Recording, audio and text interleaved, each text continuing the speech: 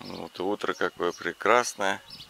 Птички поют. Правда еще холодно, градусов 5, не больше. Ну вот посмотрите, какая у меня яблонька. Яблонька весной очень красивая. Так. Ну ладно. Всем привет подписчикам моим. Это Майер. Сегодня, значит, буду ремонтировать садовую тележку, двухколесная, очень удобная, практичная телега. Но у нее есть слабое место, это колесья. Вот с колесами буду сейчас разбираться, что с ними сделать можно. Возил на ней бетон, раствор, кирпичи. В общем, подшипники там не выдержали. Ну вот будем разбирать, смотреть, что с ней. Так, заезжаем на ремонт, переворачиваю и начинаю снимать колеса. Так, значит, берем, снимаем стопорное кольцо.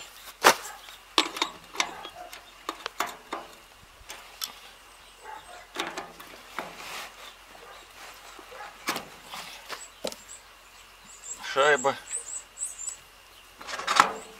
Так, все. Ось нормальная, выработки никакой нету.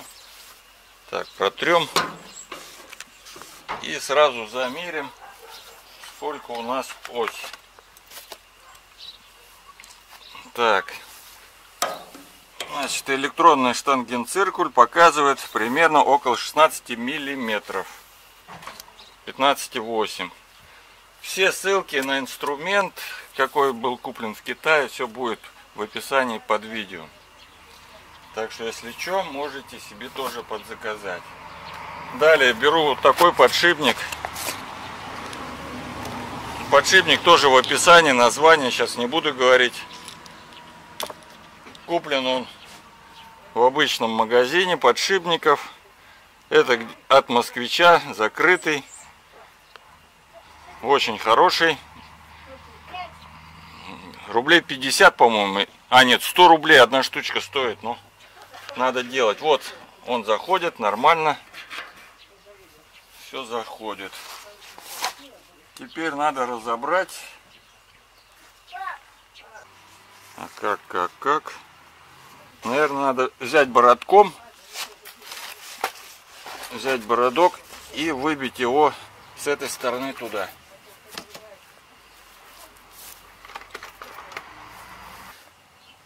и пробуем выбить наружу. Просто я раньше тележками как-то не было у меня опыта такого. Поэтому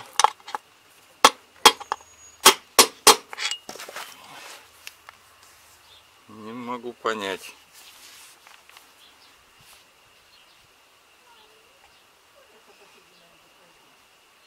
Скорее всего, надо просто выкрутить вот эти винты и разобрать. Скорее всего, вот это выкручивается. Ставь на паузу.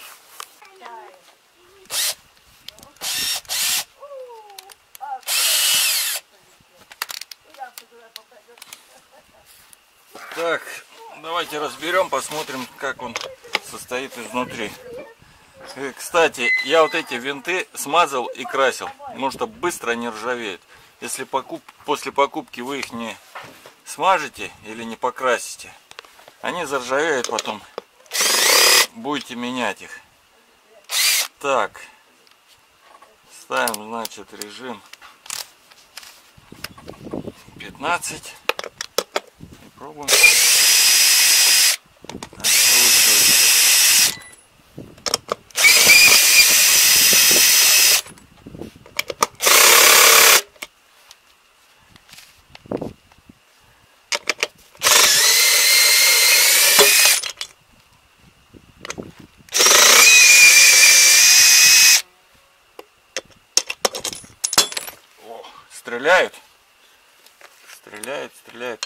Это искать.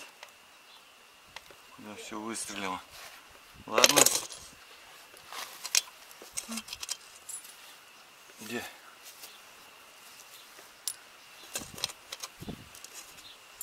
Да, все растерял, надо магнит потом мощный и все поискать.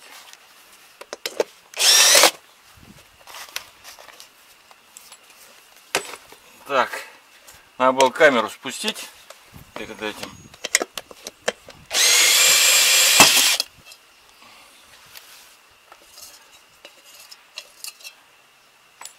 Так.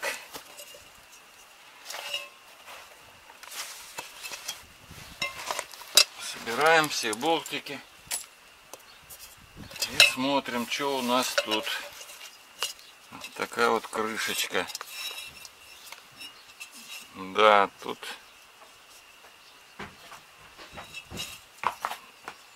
Тут мне подойдут, наверное, мои подшипники. Чтобы выбить подшипник, зажал его в тисках и сверху просто молоточком ударяю, он выскочит.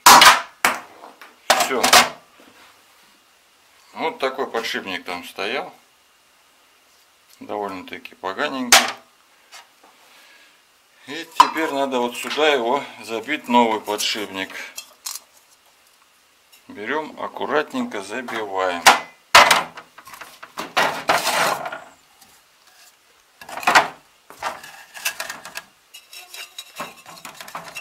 Так, чтобы не перекосилось. Легкими движениями, легкими постукиваниями.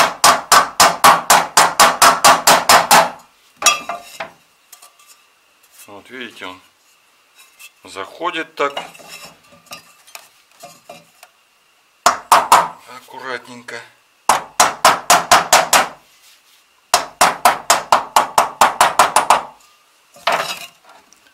Так, еще маленько. В натяг хорошо идет в натяг.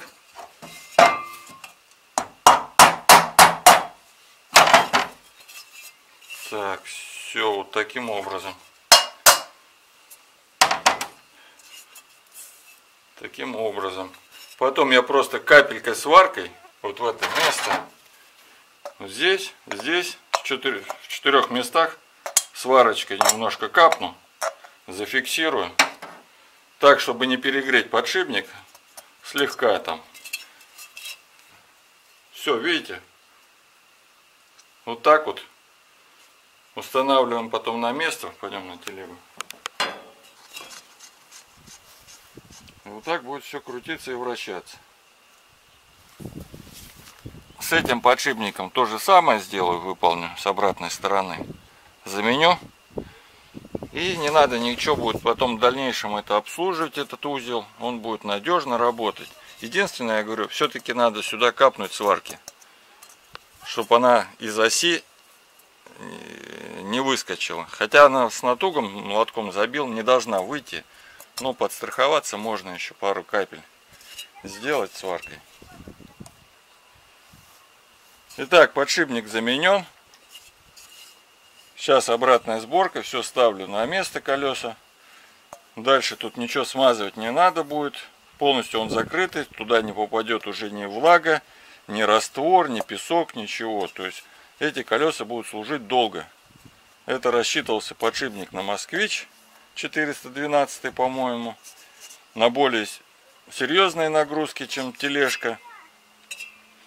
Ход вращения у него очень свободный. Видите, мягко ходит. Так что даже новая тележка, у нее такого плавного хода не было. Так что, если купили телегу, найдите время, поменяйте 4 подшипника. Итак, сделал 4 прихватки. Старался делать каплями такими, чтобы не перегреть подшипник.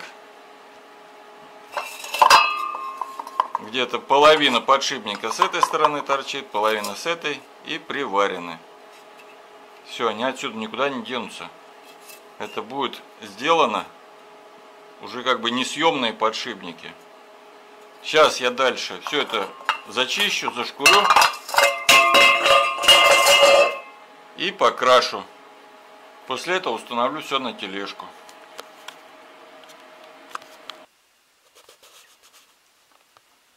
Далее я взял, зашкурил все это дело, обеспылил обезжирил и покрасил молотковой краской. После этого я произведу сборку и монтаж уже на тележку. Вот так все покрашено. Итак, колесо собрал, установил его на место. Все, он подошло.